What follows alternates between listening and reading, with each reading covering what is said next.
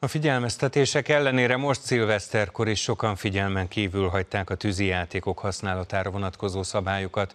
A mentőket 14 esetben riasztották pirotechnikai eszközök okozta sérülésekhez.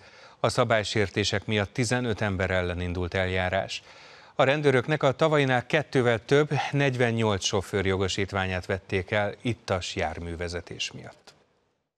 Civil ruhás nyomozóknak akart eladni tűzijátékokat egy autó csomagtartójából két férfi szilveszter előtt egy nappal az egyik 18. kerületi bevásárlóközpont parkolójában.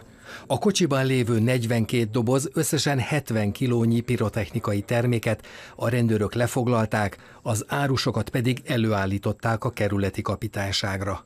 Rajtuk kívül még 15 emberrel szemben indult eljárás tűzijátékok szabálytalan felhasználása miatt. Pirotechnikai termékek kapcsolatos szabálysértés miatt szilveszter éjjelén országszerte 20 esetben 15 személyel szemben indult eljárás. Ittas járművezetés gyanúja miatt kollégáim 48 főt állítottak elő.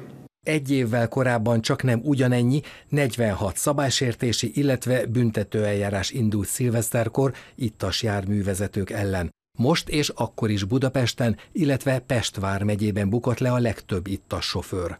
A pirotechnikai eszközök szabálytalan használata miatt is a fővárosban és vonzás körzetében kellett a rendőröknek a legtöbbször intézkedniük.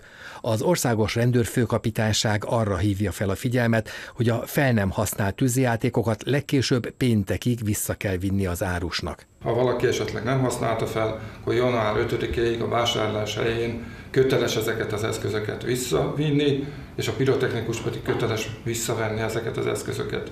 A visszavételért a forgalmazó nem számíthat fel semmilyen díjat, de a termék árát sem téríti vissza.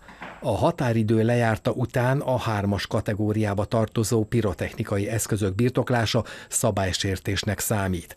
Az előírás megsértői 150 ezer forintos bírságot, valamint tűz- és robbanás veszélyt kockáztatnak.